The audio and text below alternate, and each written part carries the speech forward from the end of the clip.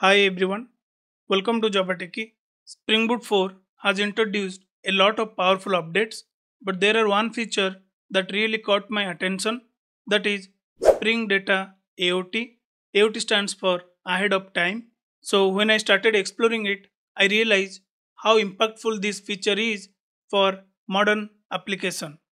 It validates and optimizes your database queries at build time which definitely help in reducing your application startup time as well as it can help you to avoid any runtime surprises. So in this video, let's take a closer look at Spring Data JPA AOT and see why it matters in real projects. Okay, alright. So without any further delay, let's get started.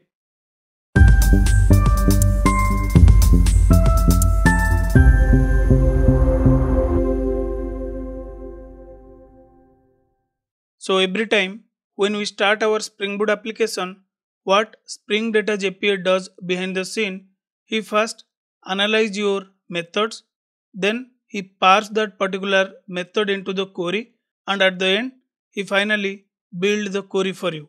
For example, let's say I have this complex query find by name containing ignore case.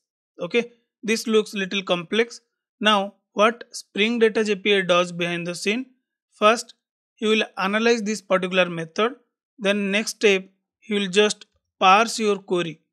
To parse the query, okay, he understand find by means I need to go for select operation. Then name is nothing my where clause condition. So he understand okay, there is also condition called where. Next, containing. Containing means like correct? Then ignore case. So he just need to make it case sensitive. So either he can go for upper or lower. These things will be parsed automatically by spring data jpa on application startup. Okay? Once it parse then the next step he'll simply build the query for you. So the query will be look like this.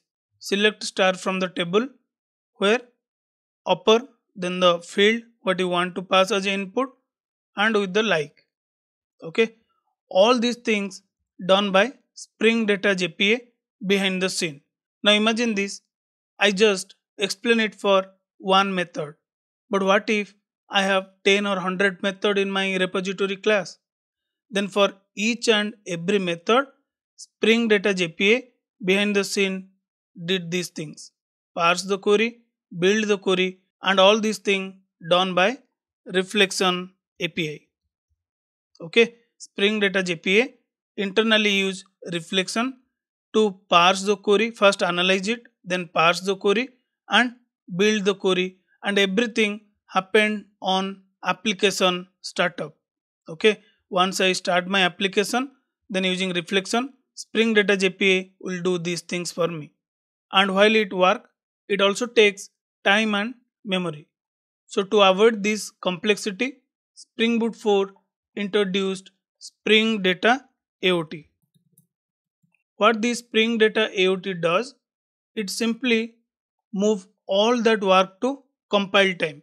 At application startup, what Spring Data JPA does before those things move to compile time or you can say build time okay now all these things will happen at build time itself.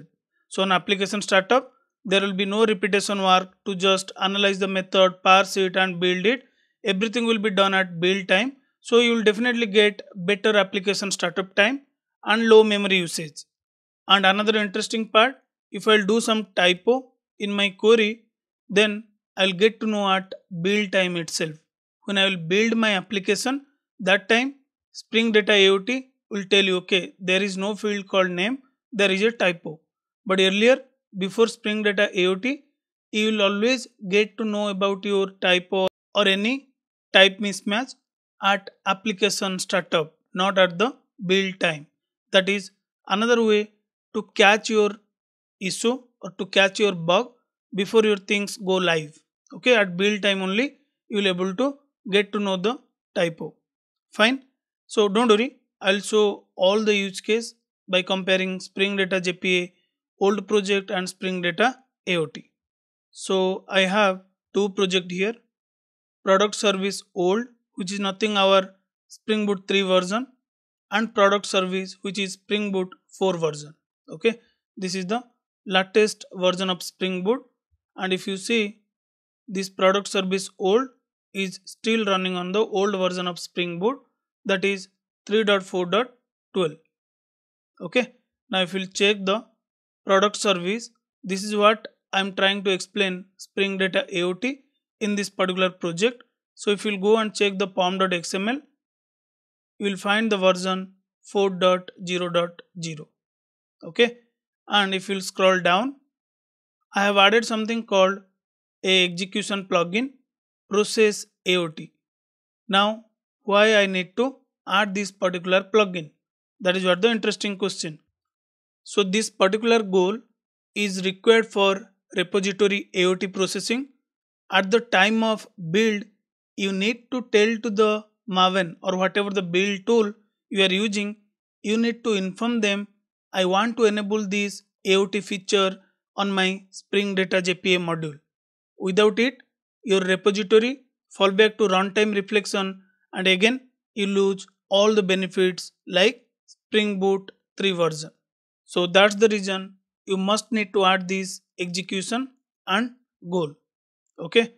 Now what we'll do, we'll just compare the application startup time between our old version and with Spring Data AOT. Okay.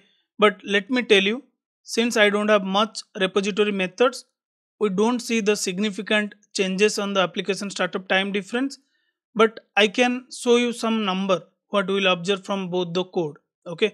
But if you want to really validate it in real time project you might have bunch of uh, repository method.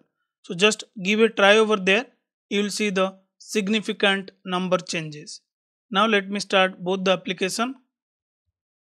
Let me start the old application first. Then at the same time I will also start my Spring Data AOT1. So the old application took 17.053 second. However, the new one took how much?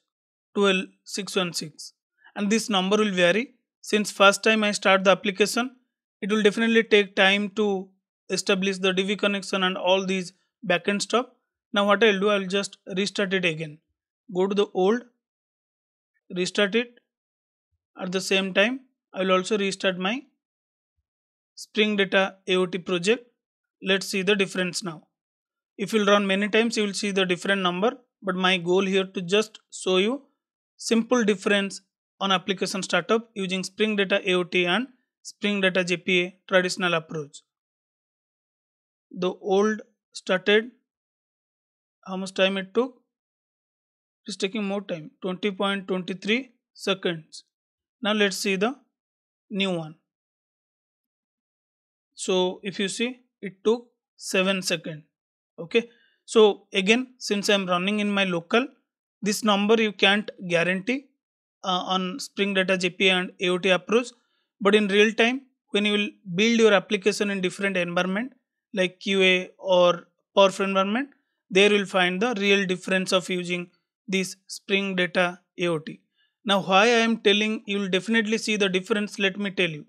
How it internally works what Spring Data JPA AOT does as we understand once we just do the build our project using mvn clean install all these things parsing the first analyze the methods parsing it and build the query using reflection all these things will happen at build time right?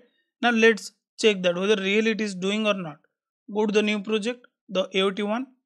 What I'll do I'll just run mvn clean install.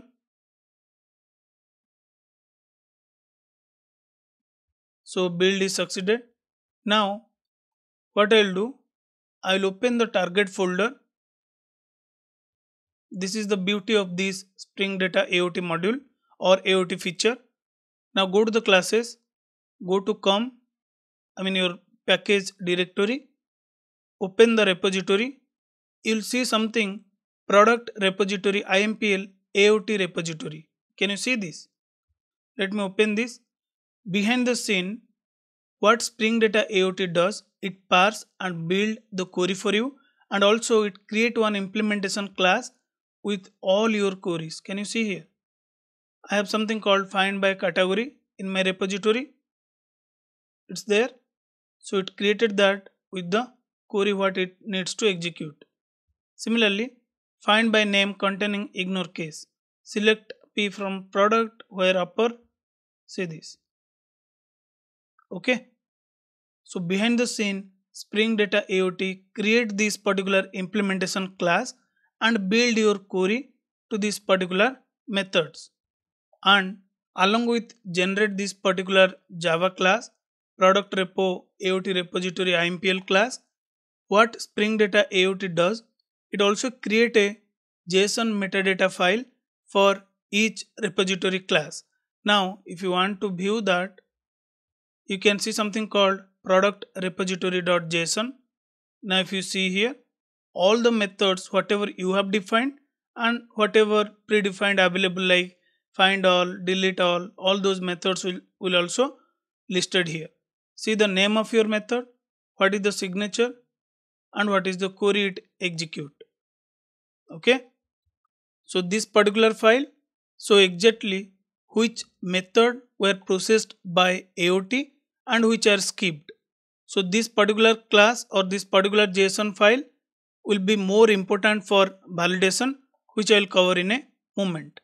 Okay. So this is the metadata file and it create this AOT implementation class. This is what done by Spring Data AOT at build time when I run mvn clean install. Okay. Now same thing. If I'll run in my old project let's run clean install.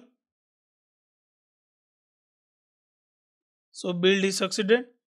Now what I'll do I'll just open the target classes. Come then I'll go to the repository. There is no AOT implementation class or metadata file.